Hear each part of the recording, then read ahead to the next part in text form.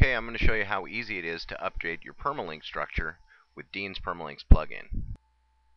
Go to your Options and Permalinks area. Now, of course, if you still have the default options, you don't have to worry about this. But take a look at what you've got your permalinks set to.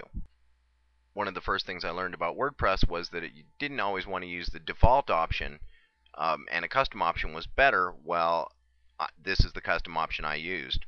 The word archives and then the post ID. Just like anything, it's always good to make a quick note of what something used to be like before you changed it so you can put it right back if anything goes wrong. Now the permalink structure I'm going to want to use is the category name and the post name.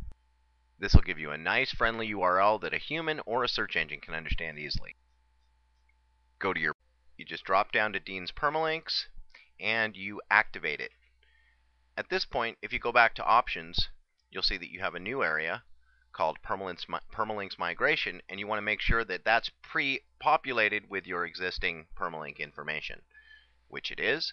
Then you just go to permalinks. You paste in what you really want to be. Then you update your permalink structure. And you should get a message that says you were successful.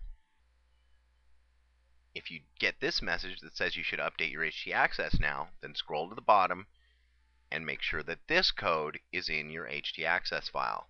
That means that your htaccess file was not writable, which is sometimes a security issue, and I don't want to get into that right here. The point is, it's that easy to change, and normally if your htaccess is writable, it'll just happen automatically.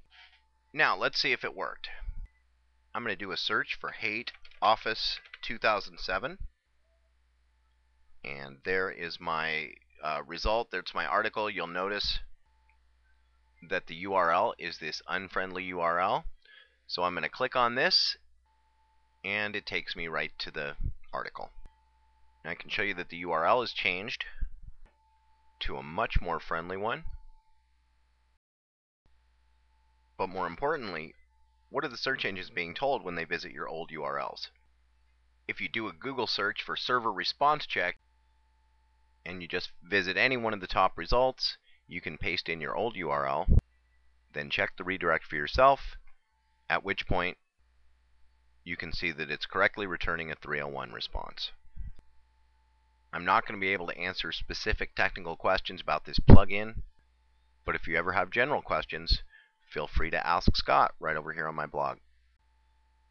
And you just visit any one of the top results, you can paste in your old URL, then check the redirect for yourself, at which point you can see that it's correctly returning a 301 response.